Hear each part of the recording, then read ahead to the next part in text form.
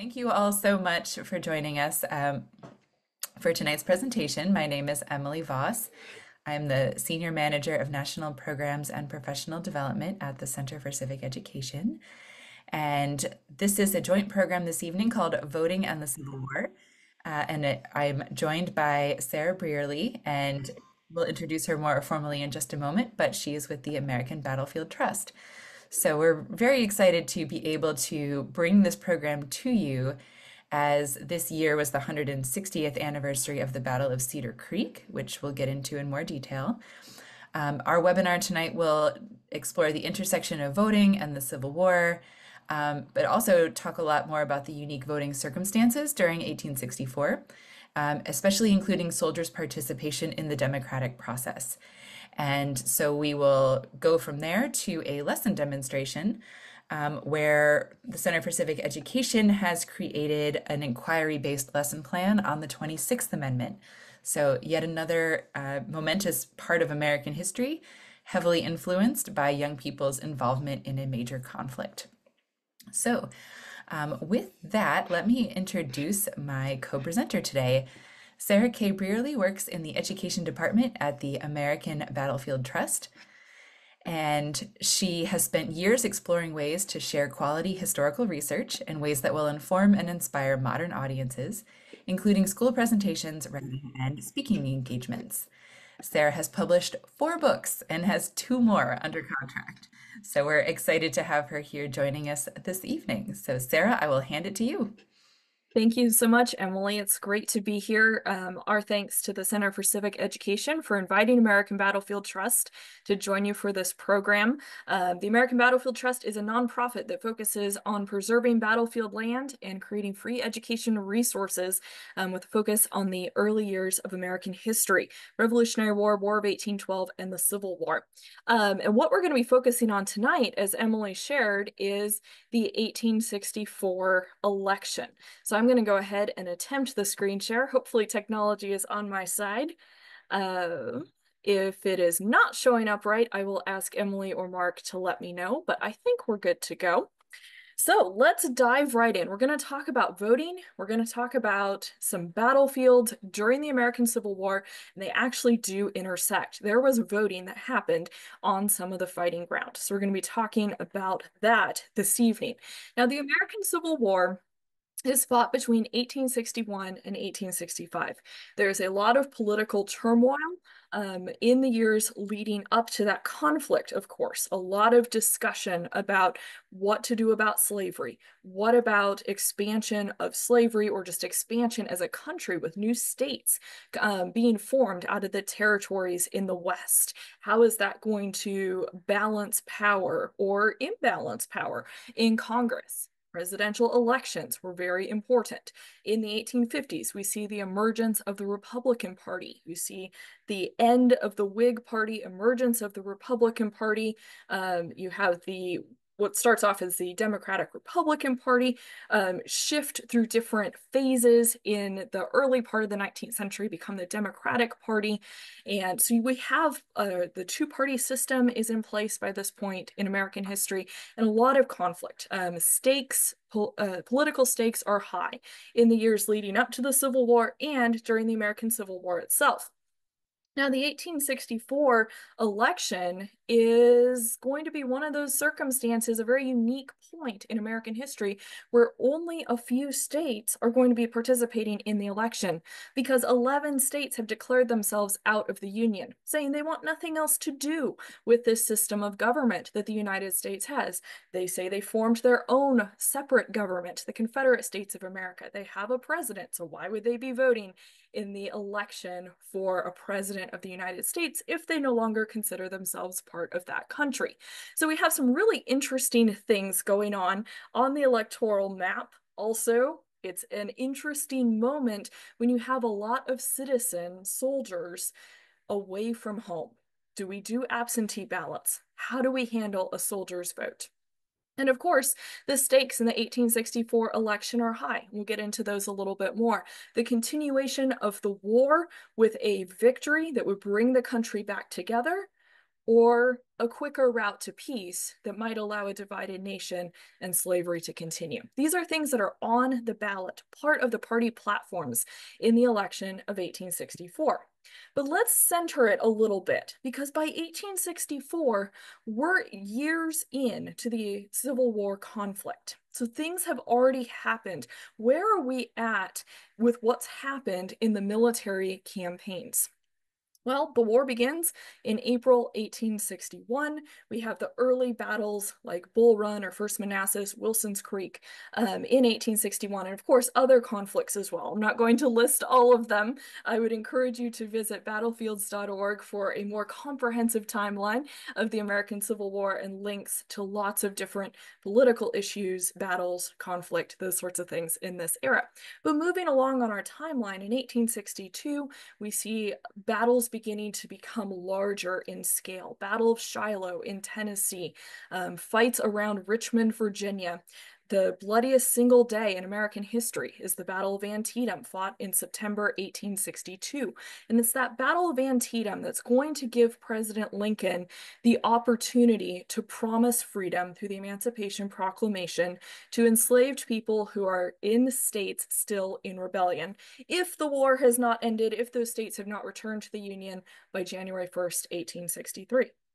The war does not end. Lincoln signs the Emancipation Proclamation, officially making freedom from slavery a war aim for the Union cause.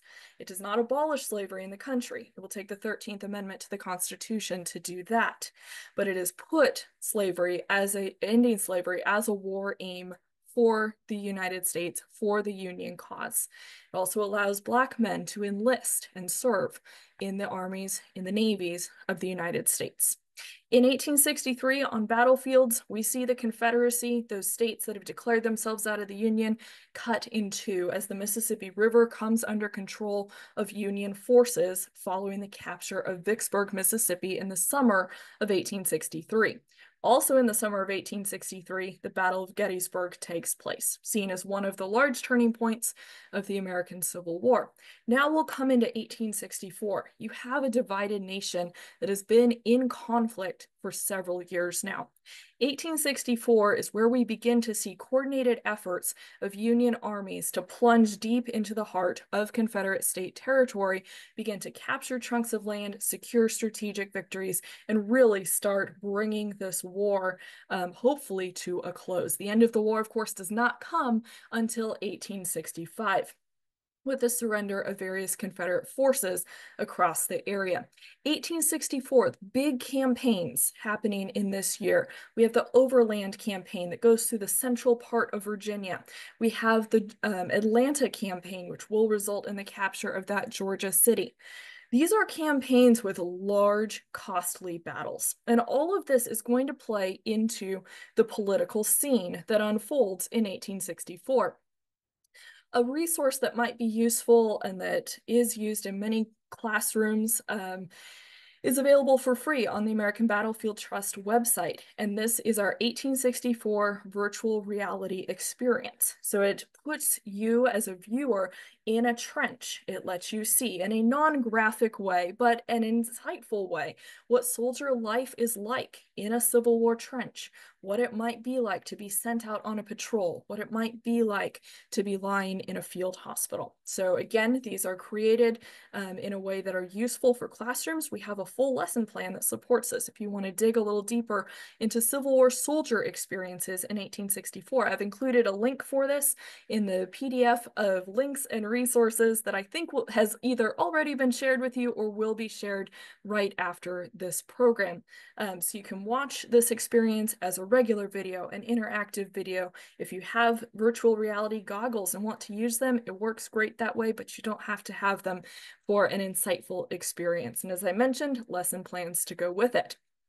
So that can let you take a step into the shoes, if you will, of a Civil War soldier's experience in 1864.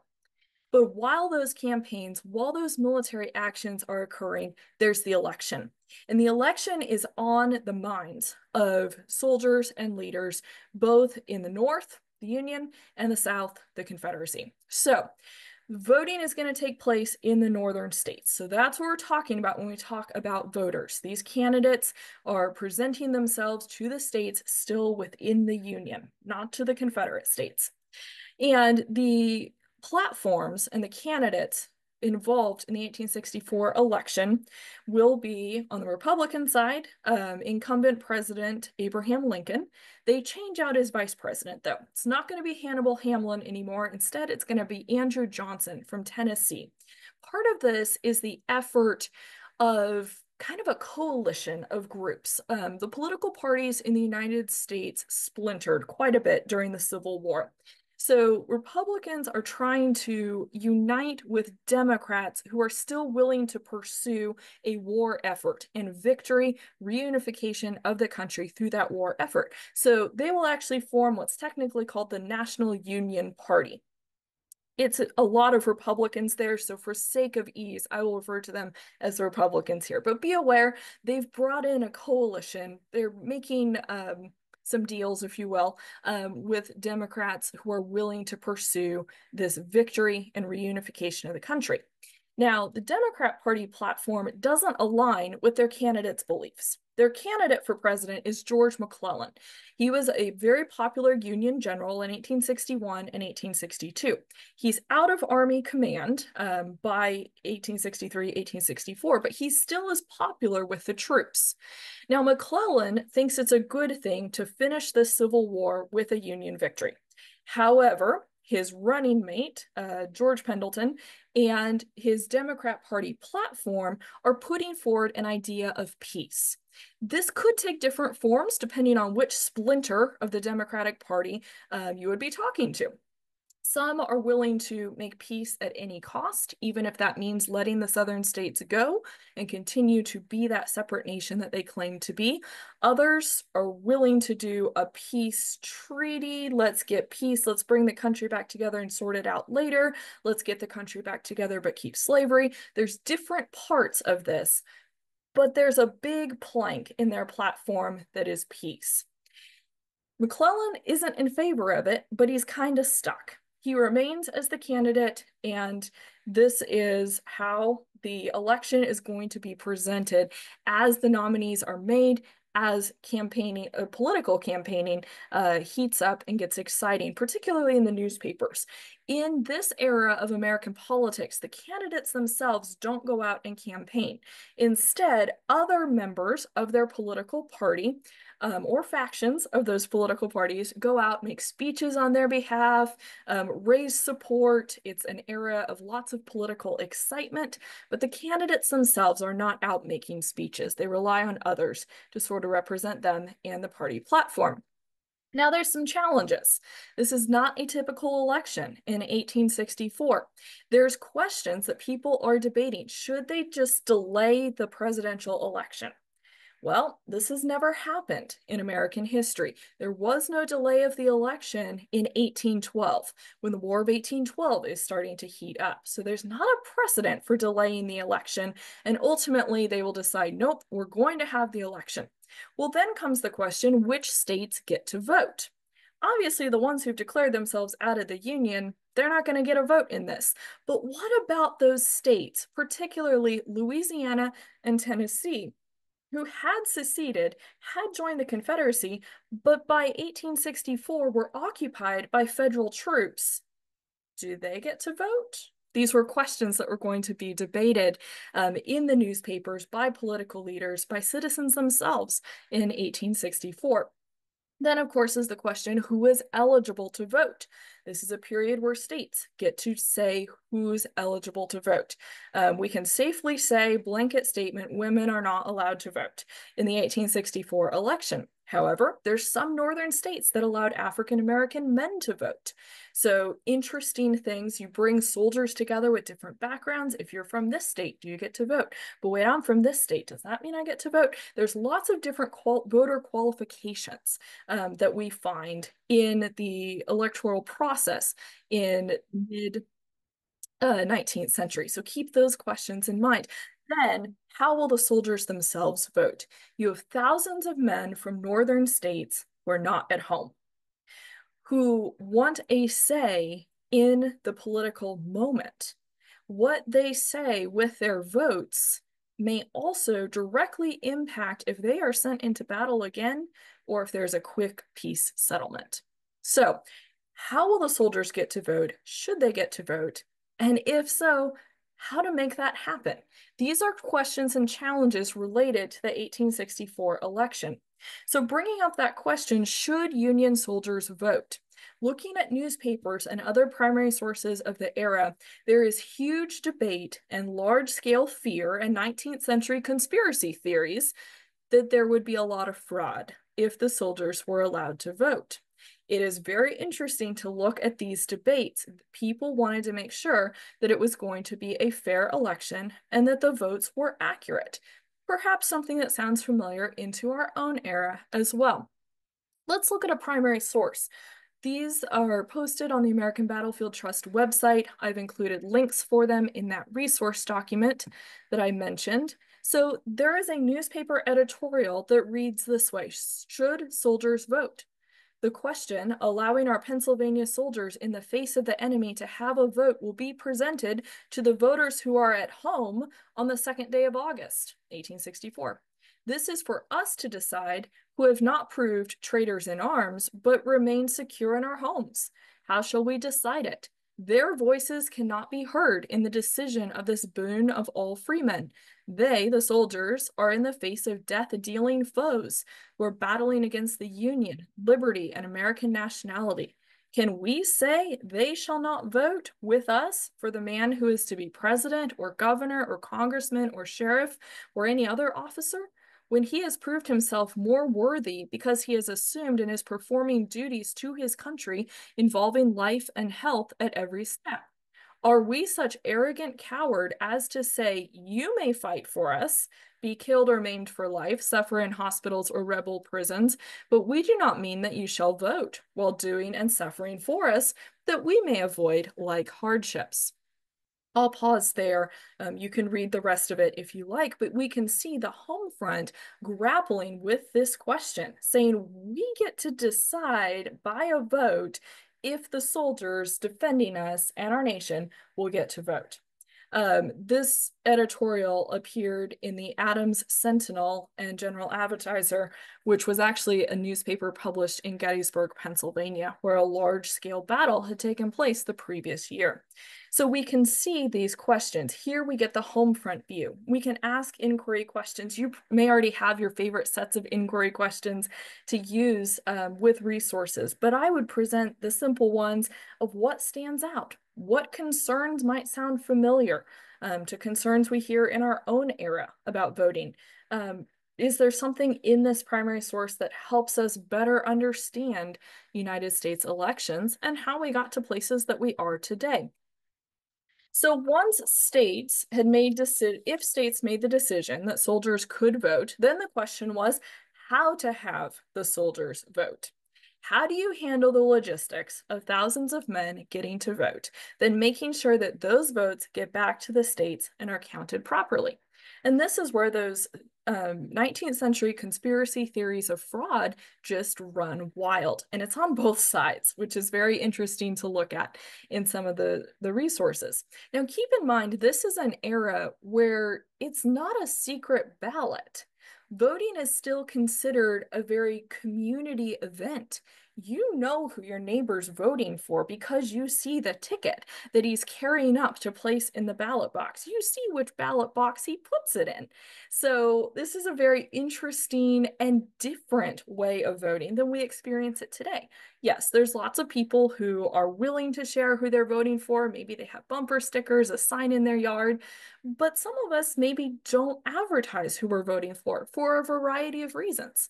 Um, but it's a little different. It's a different voting culture in this era. So keep that in mind. There are states that allowed for absentee ballots to be used by soldiers in military service during this 1864 election. There were other states that said, nope, we're not doing it through the mail. We're not doing the voting in camp. Instead, figure it out. If you want to vote, you have to come back to your home state, to your hometown, and cast your vote there. And in this case, we do find that there are officers who are beginning to allow those soldiers from those states to take short furloughs in the autumn months to go home and cast a vote. There's a primary source, um, this one coming from the New York Times in the spring of 1864, that's talking about the challenge of how to carry out a soldier's vote. The method by which the soldier's vote shall be sent from the field and deposited in the ballot box at his home proves a puzzle to our legislature. A bill has been reported by a select committee which provide that the ballots shall be enclosed in envelopes and marked on the outside soldier's vote, and that such envelopes may be sent in the mail to the inspectors of election in the district where the soldier resides any time within 60 days before the election. This proposition seems very much like offering a chance for cor to corruption. Why should, why should the soldier's vote be thus advertised or exposed to such risk from mail farriers, post office officials, or election inspectors? Would he, the soldier, be willing to thus hazard his money? Certainly not. He would demand it as his right to send it to a friend whom he could trust if he wished to deposit it in bank, and the legislature could not deprive him of this right. Is a citizen's vote of less value than money, or is it less his own or less under his control?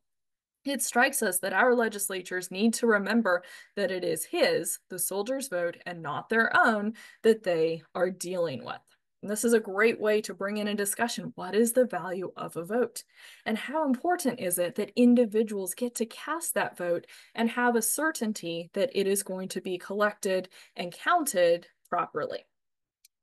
So then we find the question, who will the soldiers choose if they are able to vote? We have George McClellan, that previously popular Union general. We have Abraham Lincoln, the incumbent, who's been leading the nation through the war already. The Lincoln campaign uses a slogan about not changing horses in the middle of the stream. So if you're crossing a stream and you're on one horse, why would you jump to another in the middle? Is kind of the folksy analogy that they're presenting. Why change presidents in the middle of the crisis? And that concept is going to become really important when we look at the military situation and this we win uh, we will get the war to an end with a victory that brings the country back together, which is what Lincoln is um, advocating for, and that is part of the Republican Party platform at this time. So the questions of who will they choose? And we find soldiers talking about this in their letters, in their diaries. Um, this excerpt um, comes from a letter written by William Kelso, who served in the 116th New York Infantry Regiment. And part of his letter was printed in a newspaper. So think about sharing this paragraph from a soldier's letter in the local paper. What's that saying both to the local community and also about the soldiers' opinions in camp. So this is what Kelso writes. There's a great deal of talk about the election among the boys, and I have had some stiff old arguments, but I am generally enough for them. There are a good many of the boys that are tired of fighting and would like to have peace and get home on any terms. I do not mean the majority of our men here by any means. I mean a class of unthinking individuals who enlisted without ever giving a thought to what hardships of a soldier's life and who would now vote just as unthinkingly for a peace president without ever giving a thought to what would be the result. But when a fellow gets down amongst and talks reason to them and pictures out a peace with withdrawing all of our troops from their territory and what would be their next step, they generally cave in and go for Old Abe and for licking them, the Confederates, out, if it should take three more years. If you are as sound for old Abe at home as we are here, no fears for the result. In fact, I have none in any way. Lincoln must and will be elected again. And the emphasis there at the end is original. So we have soldiers writing to the home front. We also have women writing about the election. Women can't vote in 1864, but they are intensely interested, some of them, in the election process. They go to political gatherings, they listen to the different speeches, and they write about them. And they write about them to the soldiers in the camps as well.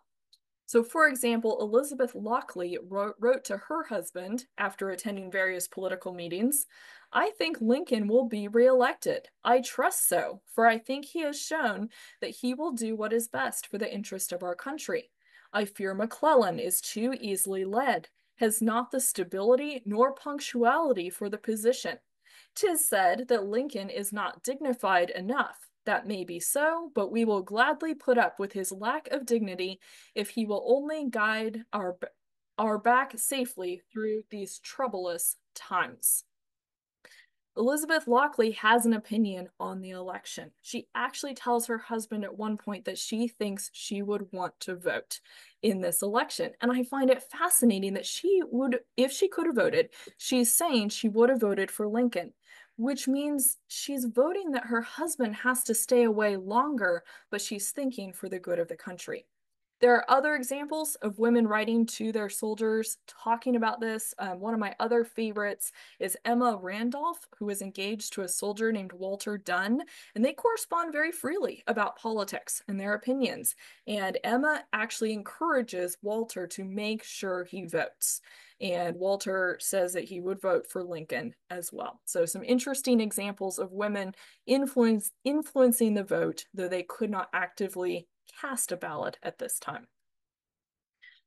So we have all of these questions. We have the absentee ballots, soldiers being able to vote in camp, and I'd like to bring it in to a regional era, the Shenandoah Valley, which sits in the western part of Virginia. In the autumn of 1864, there's an important military campaign that unfolds in this area. You have Union General Philip Sheridan, whose image is at the top of the screen, going against Confederate General Jubal Early, his photo at the bottom of the screen. The Shenandoah Valley is a region that has been fought over for all the previous years of the Civil War. It's an area where very few Union victories have occurred up to this time. It's a strategic location. It's also an area that produces a lot of agricultural supplies that are used by other Confederate forces in Virginia. Sheridan is, is, tasked with conquering the valley and destroying those food logistics, destroy the food supply in the region. And we're going to see a string of Union victories in the autumn of 1864. On September 19th, the Third Battle of Winchester. September 21st and 22nd, the Battle of Fisher's Hill, another Union victory. The Fisher's Hill opens up the Shenandoah Valley region, and there's a period that we refer to as the burning, which is that systematic destruction of the crops and supplies in the area. Burnings of fields, barns, not civilian houses, that was not allowed, uh, but a lot of destruction occurring in this region. On October 19th, Confederate cavalry is defeated at the Battle of Tom's Brook. So we've just seen a string of Union victories in this region. Pair that with the capture of Atlanta, a major Confederate city that happened at the beginning of September 1864. In August, end of summer, there had been the capture of Mobile Bay in Alabama. You also have Union General Ulysses S. Grant pinning Robert E. Lee and Confederates in place at Petersburg, just south of Richmond, which was the capital of the Confederacy. All of these events, all of these military actions are pointing toward there could be an end to this war with a Union victory. Maybe you don't need to settle politically with the Peace Democratic Party platform. Maybe there's an end to this war in sight with a victory. In the camps of Union soldiers in the Shenandoah Valley along the banks of Cedar Creek, there is voting that is taking place in October. The image at the top of the screen is how some of the fields around Cedar Creek looked in the 1880s. The photo at the bottom is from a reenactment and living history event that actually occurred in that vicinity uh, last weekend. So apologies for the cars there in the camp, but imagine thousands of tents spread over this landscape, Union soldiers fresh from their victories in the Shenandoah Valley gathering to cast ballots in an orderly way in their camp. One of the men who is intensely interested in the vote is General Rutherford B. Hayes. He will later become president of the United States. But in 1864, his home state of Ohio had actually nominated him to represent them in the United States Congress. Hayes accepted the nomination, but he said he would not go serve in Congress until his military service was over and a Union victory had been achieved. He's very um, emphatic about that. So we have Hayes and his soldiers casting ballots in their camps. On October 19, 1864, Confederate soldiers led by Jubal Early launch a surprise attack against the three Union camps around Cedar Creek. Don't get bogged down in the details of the map, but notice we have red arrows and blue arrows all over the place. This is a confusing battle day. Union soldiers are literally woken up by Confederates attacking their camps they get up and they start running to find safety. They start, Union soldiers are running to then rally and be able to fight back. It is an October surprise of immense proportions for the Union men at Cedar Creek. The Confederates are making a gamble. Early realizes that a Confederate victory, even if it does not have huge lasting effects, if he can get a Confederate victory in the Shenandoah Valley, that would change headlines in the North. He's hoping to influence the election by his military action. In many ways, that's a big part of what happens at this battle on October 19, 1864. In the midst of the Union rush to get away from their attackers, there are officers and men who grab the ballot boxes and take them with them in their retreat. They are saving the vote, literally. Well, by midday, a lot of Union soldiers have stopped their retreat. They're starting to form solid lines. The arrival of their beloved commander, General Philip Sheridan, further enthuses them. And in the mid afternoon, there is a Union counterattack, which sweeps back across these battled fields and Union camps are regained by sunset. Confederates are pushed into a final retreat um, in the Shenandoah Valley. So, this huge moment, we see what looks like a Confederate victory by midday and a quick turnaround to a Union victory by the time the sun sets. It's a very dramatic moment. And Sheridan is going to play up that drama both for his own gain and for political gain for the Republican Party for Abraham Lincoln in the headlines. They don't use the phrase, or at least as far as I can tell, they don't use the phrase October surprise in the way we recognize it in our modern politics. But in many ways, Cedar Creek is an October surprise. It puts another Union victory in the Northern headlines. This is a boost for Lincoln. And more importantly, there is not a headline of Confederate victory that gets into those headlines as well. So um, it is a significant moment, and there's something very dramatic about thinking about saving the soldiers' votes in that moment where it looks like defeat might be happening, but then a Union victory by the end of the day, which does have an influence on the election, which is literally weeks away. So what about the election results in 1864? Yes, we're glossing over a lot of information, but I want to be able to hand it over to Emily here for her portion of the program. So let's get to the results because we know what they are in this case. Well, Abraham Lincoln wins the presidency again. He will remain in office. He won 55% of the popular vote, um, gained 212 electoral votes, and of the soldiers who were allowed to vote, Lincoln got 78% of the soldiers' vote in the 1864 election. McClellan, and I'm going to say poor McClellan here, he had a rough time. He got three states electoral votes Kentucky, Delaware, and his home state of New Jersey. Not as many soldier votes either for McClellan. Um, so Lincoln is going to have a second term. He his second inauguration takes place in March 1865, and then just weeks later, he is killed by assassin John Wilkes Booth um, at Ford's Theater and dies on October 15th, excuse, pardon me, April 15th, 1865. And his vice president, Andrew Johnson, will then, of course, become president. And we'll see Johnson's presidency play out in the tense period of the, re- uh, the beginning of the Reconstruction. So, a lot of things at stake in the 1864 election, a lot of big results because of what happens. One thing that I'd like to point out is the age of voters. We've talked a little bit about who could vote, who could not vote, and we have a lot of young soldiers in the Civil War period. Voting age was 21 in 1864. The enlistment age was supposed to be 18. Now, there's a lot of younger teenagers who get into the ranks of both armies during the Civil War. But this brings forward a question that we can think about is what about voting age?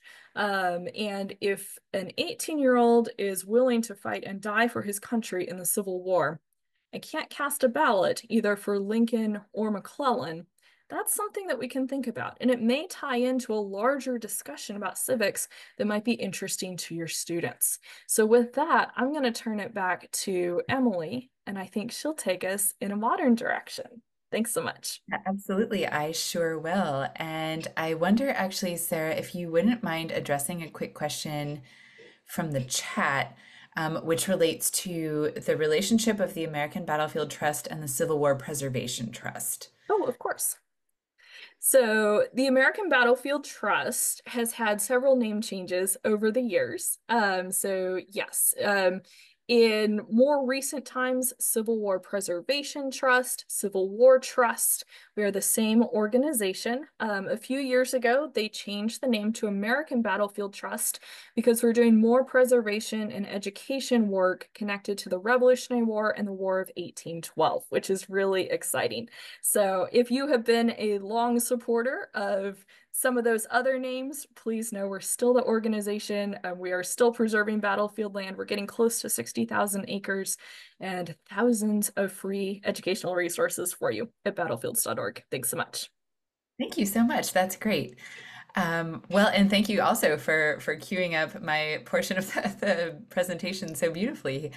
So I'll uh, also share my screen. And I'll just do a quick introduction for anyone who's joining us this evening who is not already familiar with the Center for Civic Education. We are dedicated to promoting civic knowledge, skills, and dispositions among our students so that they can become active and informed participants in our democracy. And two of the ways we do that are through our flagship programs, We the People and Project Citizen. But we also have many, many free resources, one of which I will be diving into in just a minute. All right. So our approach to all of our instructional materials follows an inquiry approach. So this is very very briefly the 5E model, which allows students to build on engagement through exploration and elaboration and evaluation. The students essentially work more and more deeply into a particular subject matter and uh, develop a much deeper understanding as a result of that process.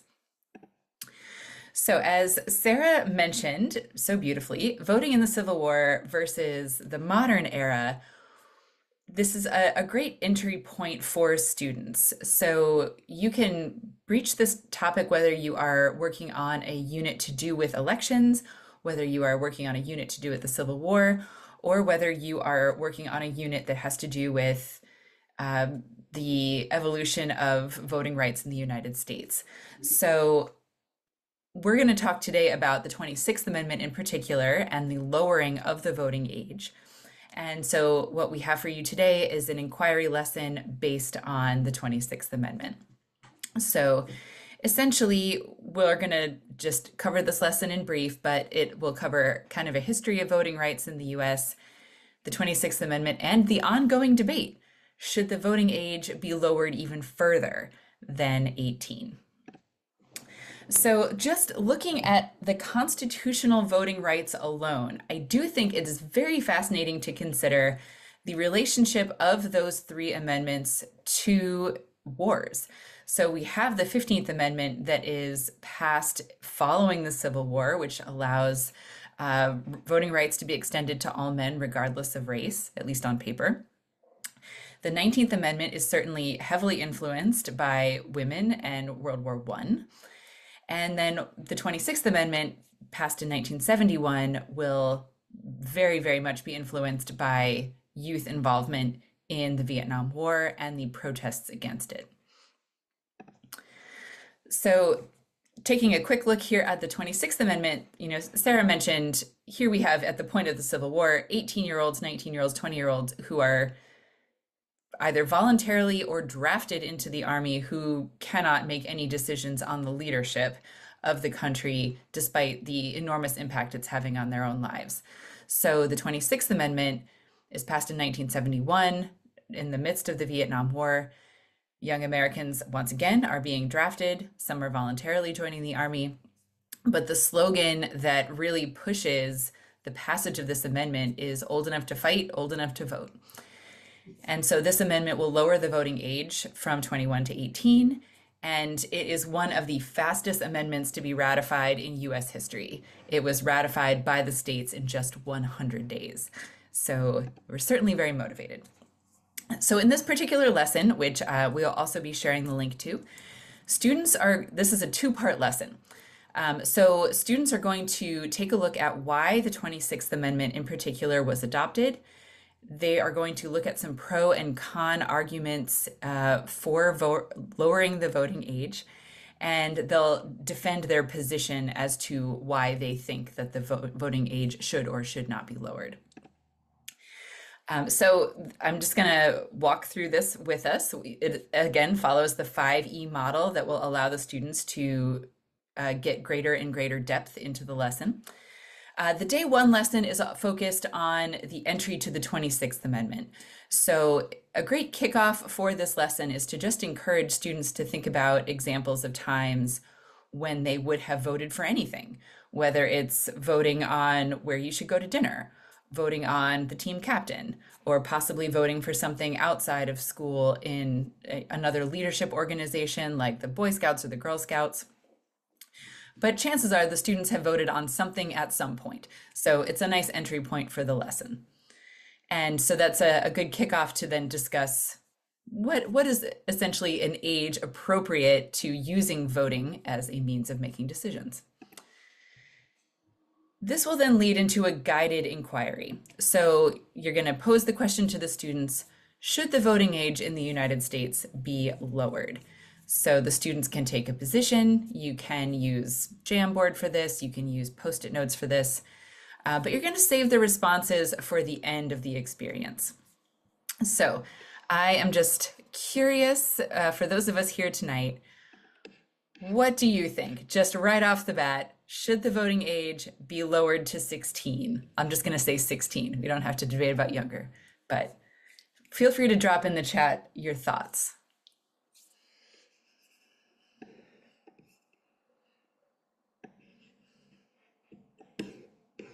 I've got, I'm just going to keep a tally of the, the marks here. So we've got some no's, all right? This looks like a collective universal vote so far. All right. Excellent. Now, I wish I could actually do this whole lesson. Um, Steven says no to 16, but yes to 17. Man, okay. I wish this program was longer so we could get into that.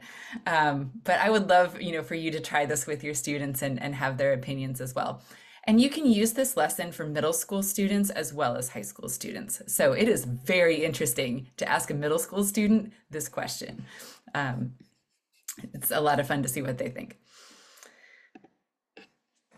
so you'll you'll move on from this, you know, sort of temperature read of the room, yes or no. The students can vote. Um, now we're going to take more of a look into what factors lead to the 26th Amendment. So the students can discuss or predict based on their previous knowledge why the voting age might have been lowered at that time.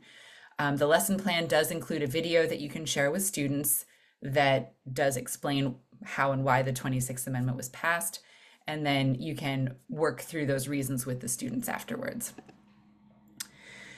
So there's additionally uh, a slide deck called Old Enough to Vote, where the students will look at primary sources and secondary sources to further engage with that material. And there's a graphic organizer for them to use to collect the evidence and share out their findings with the rest of the class. So it's really engaging and it certainly does encourage the students to do all sorts of different research into this topic. So final day one activity is to just rehash what was the top reason for the 26th Amendment's passage and to support their answers with evidence. So you can sort of leave your day one there and then you would move on to day two. So with day two, now we have had prior information the day before about why the 26th Amendment resulted in the voting age becoming 18. Um, and now we're going to dig more deeply with the students into whether it should be lowered further still in 2024 or at some later time. So um, I wanted to just share like one or two minutes of this video just because I think it's a terrific resource and it frames the question really nicely for students. Uh, and Mark has also very kindly put the lesson plan in the chat for us. But we're just going to watch a couple minutes of this video.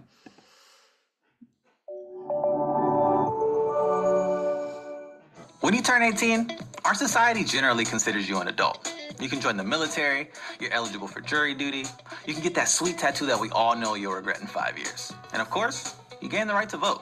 That's when you finally get a say in how this country works. But over the past few years, with movements like Black Lives Matter and the March for Our Lives, we've seen young people under the age of 18 put pressure on lawmakers to take action on serious issues that affect them, like police brutality and gun violence.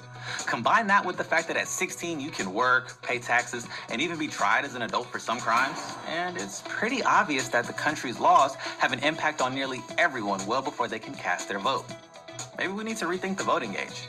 Should 16 year olds be allowed to vote? Okay, so voting may not seem like a big deal, especially since there are a ton of eligible voters out there that don't vote. I'm looking at you, millennials. But it's kind of awesome that in America, voting is a right. I mean, 40% of the world doesn't even have the option to vote, which means they don't have a say in their government. However, the laws governing who can vote and who can't have evolved over time. When the Constitution was. Okay, so he does go through the voting rights. You get the idea. But um, it's a really, really terrific short video. It runs about six minutes. It lays out really nicely the you know pros and cons of potentially lowering the voting age, and it also concludes by pointing out that there are some local elections that do allow people younger than 18 to vote. So it's a, a nice framing of the issue right. for the students.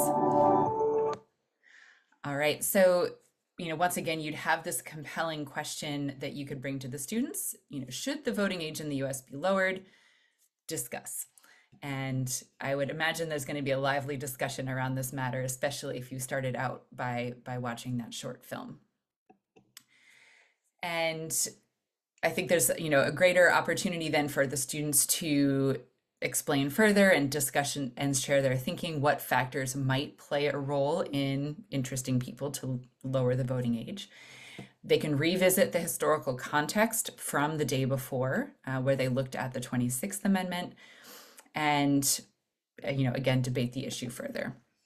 So, the day two activity is more of a structured debate. So, you'll have your class divided out into four teams two teams are going to create arguments for, and two teams will create arguments against lowering the voting age. They are going to be expected to utilize primary and secondary sources for their research. So, not just what they feel like, but doing good research here. And so that part can take as long as you need it to. If you actually wanted to take this lesson into a third day, you certainly could, or you could already have resources pulled aside for this discussion. The students will have a graphic organizer again to organize their thinking. And after the group research, the students on the teams can share their findings and basically give, give their arguments pro or against. So you'll wrap up with that full group discussion and revisit the whole supporting question. All right, and then you could, as Sarah did before and as I did, you could bring back the connection between the past and the present, um, essentially drawing that through line for students to say that the, the fight for voting rights is a fight that, that started 200 years ago. And it certainly is a discussion that we are still having today. We had this discussion during the Civil War. Um, you could bring in a discussion of other wartime elections. How did the election of 1864, for example, compare to the election of 1944? So, lots of different uh, avenues that you could take if you chose to extend this lesson further. Um, you can also have a modern debate about civic engagement and the voting age and how young people continue to shape the future of democracy. So, whether or not 16 year olds are ever granted the right to vote, what are some options for young people today to continue to play an active role in our democracy? So, really, really great two day lesson that, that ties this all together really nicely. And I think really hits at students' personal interests. All right, so with that, both Sarah and I would be happy to answer additional questions. I was able to cover my section a little bit uh, more quickly. So I do want to make sure if anyone would like a certificate of completion for today's program, um, please send me an email. My email is voss at civiced.org. And I will be sending everyone, regardless, uh, the PDF of all of the resources that Sarah put together for American Battlefield Trust. Um, I'll also be sharing our resources as well, although the links are also shown here on your screen. The lesson that I talked through, the lowering the voting age, that has its own link. We also have four brand new teaching resources on other topics to do with voting and elections uh, that were just published within the last month. So there's a separate page there where you can also access all of those free voting and election lesson plans as well. So with that, I am going to open up any questions that you all may have for us this evening. And you can either drop the questions in the chat or if you wish to take yourself off mute, that's fine too.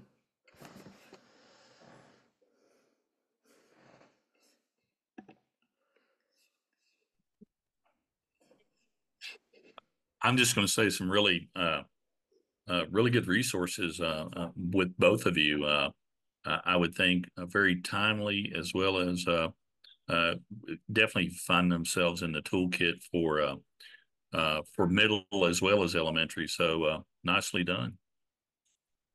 Thank you very much, Glenn. Yeah, it's I think both both of our collections of resources are very applicable to middle and high school US history classes, government classes, civics classes, the whole the whole spectrum. Thanks, Glenn.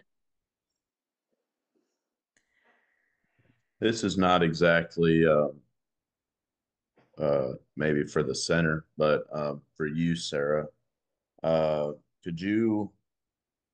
Uh, well, let me let me ask it this way. I'm so I'm from Kentucky, and I know um, with our like counties, you know, just records and stuff from back then, that for some of the elections, they claimed that certain people were prevented from voting by fellow citizens or potentially from government officials. Could you speak um, to that topic at all? I don't care which state, but just in general. Thanks, Joel. That's a great question. Um, it's not something I've studied in depth recently, mm-hmm. so I don't want to misspeak here for you, but um, there was certainly a lot of political pressures and intimidations that we find um, in 19th century voting. And this is before the Civil War, during, and after. I think a lot of people focus on the voter intimidation during the Reconstruction era, um, but there was also intimidation that happens in the antebellum period and uh, the Civil War years itself, of course. So I think it's something that would maybe be worth another discussion that we could go a little more in depth on sometime. Um, but yes, it's certainly there. I do not have any specifics on it for Kentucky or specific data or stats that I could point to for you tonight. If you want to drop me an email, I could uh, see if I have some other resources to send your way if you'd like, though. Yeah, thank you very much. Thanks, Joel. Great question. And Sarah, I just put your your email in the chat there. Thank you. You beat me to it. I appreciate it, Emily.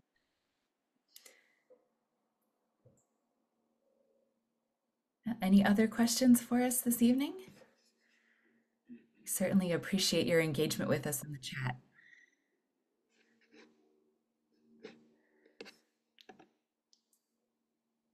Okay, well, I think we may wrap things up then. Thank you again so much for joining us this evening, and please be on the lookout for future programs from the Center for Civic Ed as well as the American Battlefield Trust. Um, we have webinars at least a couple times a month. Uh, so we hope to see you in the future. And I'm sure that the American Battlefield Trust would love to see you at some of their future programs as well. So thanks again. And we will be in touch with those additional resources, if not tonight, by tomorrow. Thanks a lot, everybody.